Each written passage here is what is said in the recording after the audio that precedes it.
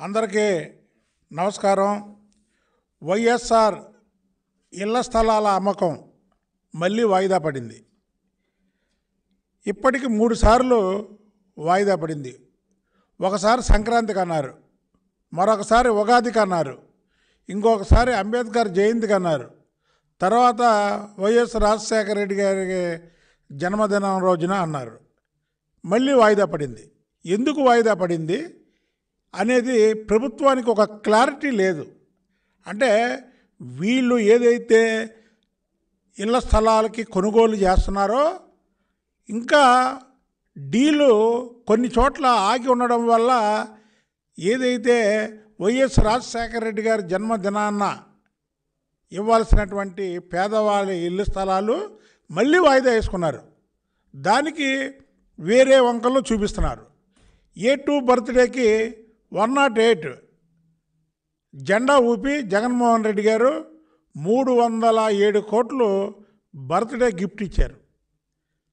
అదే విజయసాయి రెడ్డి గారి ఆలోచన మేరకు ఏ టూ ఆలోచన మేరకు ఏ అయితే పల్లెల్లో పొలాలు ఉంటాయో నాలుగైదు లక్షలు కూడా విలువ చేయనటువంటి భూముల్ని దాదాపు నలభై యాభై లక్షల రూపాయలు పెట్టి కొనుగోలు చేస్తున్నామని ప్రజాధనాన్ని వీళ్ళు ఒక పథకం ప్రకారం దోచుకోవడానికి ఏ వన్ ఏ టూ ఇది ఒక పథకం పని వైఎస్ రాజశేఖర రెడ్డి గారి పుట్టినరోజు సందర్భంగా ఇది ఒక పెద్ద స్కాము. ఇవాళ ఆ స్కామ్ గురించి తెలుగుదేశం పార్టీ నాయకులు మాట్లాడడమే కాదు సాక్షాత్తు వైసీపీ ఎంపీలు వైసీపీ ఎమ్మెల్యేలు ఈ స్కాముల గురించి మాట్లాడుతున్నారు. ఎందుకు దీని మీద మీరు మౌనం వహిస్తున్నారో ప్రజలకు వివరించాలి. మీరు పాలు పెరుగు మీద సిబిఐ ఎంక్వైరీ అన్నారు. చంద్రబాబు నాయుడు గారు వాళ్ళ ఫ్యామిలీ నిజాయితీగా గత ముప్పై సంవత్సరాల పైగా వాళ్ళ హెరిటేజ్ మీద వ్యాపారం చేస్తుంటే వైఎస్ రాజశేఖర రెడ్డి గారు ముఖ్యమంత్రిగా ఉన్నప్పుడు కూడా దాని మీద ఎన్నో ఎంక్వైరీలు చేసి నిజాయితీగా వ్యాపారం చేస్తున్నారు కాబట్టి ఆయన ఏం చేయలేకపోయారు. ఇవాళ ఆ పాలు పెరుగు మీద మీరు సిబిఐ ఎంక్వైరీ అన్నారు. మీకు దమ్ముంటే మీరు నిజాయితీగా పేద ప్రజలకి ఇల్లు ఇస్తున్నామని మీ ఆత్మసాక్షిగా మీరు అనుకుంటే ఏ అయితే ఇవాళ మీరు రైతుల దగ్గర నుంచి పొలాలు సేకరిస్తున్నారో వాళ్ళకి రేట్లు ఇస్తున్నారో మధ్యలో దళారీలను పెట్టి మీరు కోట్లకు కోట్లు కొట్టేస్తున్నారో దాని మీద సిబిఐ ఎంక్వైరీ చేయించగలరా? అని జగన్మోహన్ రెడ్డి గారి ప్రభుత్వాన్ని మేము అడుగుతున్నాం. మీరు నిజాయితీగా ఈ విషయాన్ని సిబిఐతో ఎంక్వైరీ చేపియాలి. జగన్మోహన్ రెడ్డి గారికి తాడేపల్లిలో రాజప్రసాదం లోటస్ ప్యాండ్లో ప్యాలెసు అలాగే బెంగళూరులో వైట్ హౌసు అంటే మూడు పెద్ద పెద్ద బంగళాలు ఎక్కడ రాష్ట్రంలో దేశంలో ఏ ముఖ్యమంత్రికి లేనటువంటి బంగళాలు ఆయనకున్నాయి. ఇవాళ పేద ప్రజలకు మీరు ఇచ్చేది ఎక్కడండి? శ్మశానంలోన. ఊరి చివర. పేదవాళ్ళు ఊళ్ళో ఉండడానికి వీల్లేదా? ఊరు బయట ఎక్కడో ఇస్తున్నారు. దీనికి వైఎస్ జగన్మోహన్ రెడ్డి గారి ప్రభుత్వం సమాధానం చెప్పాలి. అలాగే వైఎస్ రాజశేఖర రెడ్డి గారి హయాంలో జరిగినటువంటి ఇందిరమ్మ ఇల్లు చూసాం. గట్టిగా గాలి వానొస్తే పొడిపోయేటట్టు ఉండేవి. టీడీపీ హయాంలో నా నాణ్యమైన ఇల్లు నిర్మించాం. ఆ ఇల్లుకి దాదాపు తొంభై శాతం పైగా పూర్తయితే అవి పేద ప్రజలకు ఇవ్వడానికి అతి గతి లేదు. వైఎస్ జగన్మోహన్ రెడ్డి గారు ముఖ్యమంత్రిగా దాదాపు పదమూడు నెలలు పైగా కావస్తుంది. కానీ చంద్రబాబు నాయుడు గారు ముఖ్యమంత్రిగా ఉన్న టైంలోనే పూర్తి చేసి దాదాపు తొంభై శాతం పైగా పూర్తి చేసినటువంటి ఇల్లు. అవి ఎవరి సొమ్ము కాదు ప్రజాధనం. ప్రజాధనాన్ని ఇంకొక టెన్ పర్సెంట్ పూర్తి చేస్తే దాదాపు ఆరు లక్షల మందికి ఇల్లు వస్తాయి ఎందుకు మీరు అవి పూర్తి చేయట్లేదు? దీనికి ప్రజలకు సమాధానం చెప్పాల్సినటువంటి బాధ్యత మీ మీద ఉంది. డబుల్ బెడ్రూమ్ ఇల్లు నిర్మించాం. అలాగే పూర్తి చేసినటువంటి ఇల్లు ఎనిమిది లక్షల యాభై వేల నూట డెబ్బై మూడు. నిర్మాణ దశలో ఉన్నటువంటి ఇల్లు ఆరు లక్షల పదిహేను వేల ఆరు వందల ముప్పై ఎనిమిది. ఇవి ఎందుకని పేద ప్రజలకు అందజేయడానికి ఆ మిగతా టెన్ పర్సెంట్ పనులు చేపించడానికి మీకు చేతులు రావట్లేదు? అలాగే దాదాపు పదకొండు వందల కోట్ల పైగా బకాయిలు చెల్లించాలి బిల్లులకి. ఏదైతే ఇల్లు తొంభై శాతం పూర్తి చేసినటువంటి ఇల్లులకి మీరు ఎందుకని బకాయిలు చెల్లించట్లేదు? మీరు ఆగమేఘాల మీద మార్చి ముప్పై తారీఖు మీరు మీకు నచ్చినటువంటి కాంట్రాక్టర్లకు మాత్రం బిల్లులు చెల్లిస్తారు. అడ్వాన్స్ బిల్లులు చెల్లిస్తారు. కానీ నిర్మాణ దశ పూర్తయ్యే దాదాపు పూర్తవు వస్తున్న వాటికి మాత్రం మీరు బిల్లులు చే- బిల్లులు ఇవ్వరు. అలాగే పల్లెల్లో తెలుగుదేశం ప్రభుత్వం హయాంలో ఎవరైతే పేదవారు ఉన్నారో ఆ పేదవాళ్ళకి ఇల్లు కట్టుకోవడానికి ప్రభుత్వం కొంత డబ్బులు మంజూరు చేసింది.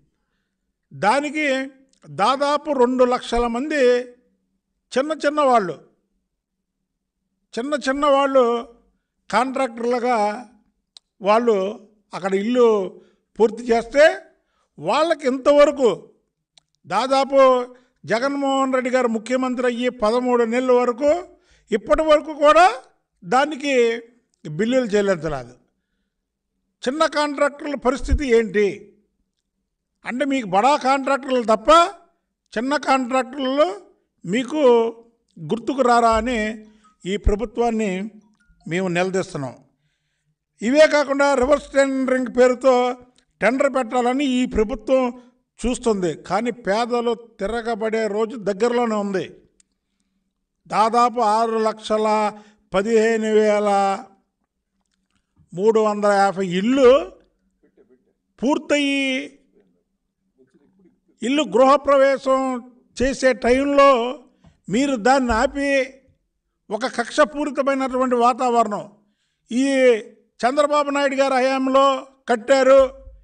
ఈ ఇల్లు మనం ఇస్తే చంద్రబాబు నాయుడు గారి హయాంలో కట్టిన ఇల్లు అనే పేరు వస్తుందని మీరు టెన్ పర్సెంట్ పనులు కూడా పూర్తి చేయకుండా ఇల్లు ఆపారంటే తప్పకుండా ఇది కక్షపూరితమైనటువంటి చర్యే.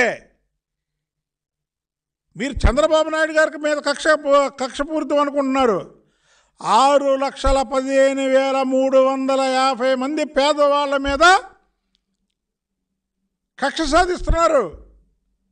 ఇవాళ ఏదైతే ఇల్లు కోసం ప్రభుత్వం ఇచ్చినటువంటి ఏదైతే నామినల్ రేటు కట్టారో అది అప్పులు సప్పులు చేసుకొని వచ్చి కడితే ఇంతవరకు వాళ్ళకి భయోందోళన తప్ప ఇల్లు ఇస్తామో ఎవరో ప్రభుత్వం జవాబుదారీతనం తీసుకొని మీకు త్వరలోనే ఇస్తాము మీరు ఎక్కడా భయపడకండి అని చెప్పినటువంటి దాఖలాలు ఈ రాష్ట్రంలో ఎక్కడా కనిపించట్లా. ఇవాళ అందుకే రాష్ట్ర వ్యాప్తంగా నూట డెబ్బై ఐదు నియోజకవర్గాల్లో కూడా ఏ అయితే జగన్మోహన్ రెడ్డి గారు సచివాలయాలు పెట్టారో చెన్నై అక్కడికి వెళ్ళి బారులు తీరి ప్రజలు అప్లికేషన్లు ఇస్తున్నారు ఈరోజు. ఇప్పటికైనా జగన్మోహన్ రెడ్డి గారు కళ్ళు తెరవండి. మీకు బెంగళూరులో ప్యాలెస్లు ఉండొచ్చు హైదరాబాదులో రాజ్మహల్ ఉండొచ్చు తాడేపల్లిలో ఉండొచ్చు రేపు వైజాగ్లో ఉండొచ్చు. పేద ప్రజల ఆశల మీద నీళ్ళు జల్లకండి. పేద ప్రజలకి పూర్తయినటువంటి ఆరు లక్షల పదిహేను వేల మూడు వందల యాభై ఇల్లు ఏదైతే పూర్తయినటువంటి నిర్మాణ దశలో ఉన్నటువంటి ఇల్లు ఏదో ఉన్నాయో అవి త్వరగా పూర్తి చేసి పేదవాళ్ళకి అప్పచెప్పండి అని జగన్మోహన్ రెడ్డి గారిని కోరుకుంటున్నాం. అలాగే ఇళ్ళ స్థలాల్లో అమ్మకం స్థానిక ఎమ్మెల్యేలు మంత్రులు ఇరవై వేల దగ్గర నుంచి లక్ష రూపాయల దాకా ఇళ్ళ స్థలాల కేటాయింపులో దోచుకుంటున్నారు. ఇదా? ఇదా మీరు ఇల్లు స్థలాలు ఇచ్చేది? ఒక పక్కేమో ఐదు లక్షలు విలువ చేయలేనటువంటి భూమిని యాభై లక్షలు కొని డబ్బు లాగుతున్నారు మరో పక్క మీ ఎమ్మెల్యేలు మీ మంత్రులు ఇళ్ళ స్థలాల పేరు మీద ఒక్కొక్క వ్యక్తి దగ్గర ఇరవై వేల నుంచి లక్ష రూపాయలు వెనక్కి పుంజుకొని లాక్కుంటున్నారు. అది పేదవాడిని ఇంకా నాశనం చేసే పరిస్థితిలో మీ ప్రభుత్వం ఉంది. వాళ్ళకి ఇల్లు అంటే ఆశ ఆశ కాబట్టికి వాళ్ళు ఇల్లు అనగానే ముందుకు వస్తారు జగన్మోహన్ రెడ్డి గారు ఏ అయితే ఆరు లక్షల పదిహేను వేల మూడు వందల యాభై చంద్రబాబు నాయుడు గారి ప్రభుత్వంలో తొంభై శాతం పూర్తయినటువంటి ఇల్లు ఇల్లుని ఎమ్మన్నే పూర్తి చేయడమే కాకుండా ఎక్కడైతే మీరు ఇల్లు స్థలాలు ఇస్తున్నారో ఆ ఇల్లు స్థలాల్లో కూడా పేదవాడికి ఆ ఇల్లు స్థలం ఇచ్చినటువంటి మంజూరు చేసినటువంటి వ్యక్తికి అక్కడ ఏదైతే చంద్రబాబు నాయుడు గారు ప్రవేశపెట్టారో టూ బెడ్రూము ప్లాటు ఆ టూ బెడ్రూమ్ ప్లాట్ కూడా కట్టించాల్సినటువంటి బాధ్యత వైఎస్ జగన్మోహన్ రెడ్డి గారి ప్రభుత్వం మీద ఉందని అలా చెయ్యాలని మేము కోరుకుంటున్నాం.